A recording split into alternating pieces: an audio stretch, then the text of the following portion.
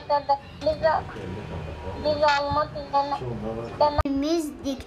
Onları sen, senin sen hak ettiğin de Oynarken kazanırdık. Kazanmaktan çok paylaşmayı ve e, güzel, güzel, virgül ne de de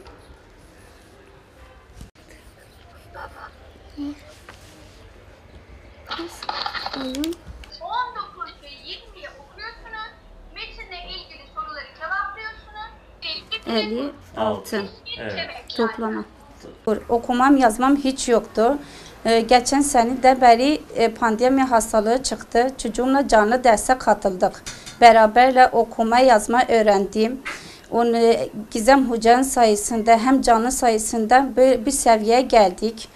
Ee, hem e, matematik çözdüm hem Türkçe okudum. Yani bile hikaye bazen bile öyle şey yapıyorum, okuyorum. Çocuğumla beraber derse katılıyoruz. Elde var bir. Burada zaten 3. Bazen yani aklıma geldiği zaman diyor ki annem bu, bu rakam böyle geliyor matematik. Yani ikinci sınıf zaten çocuğumu beraber çalışıyoruz.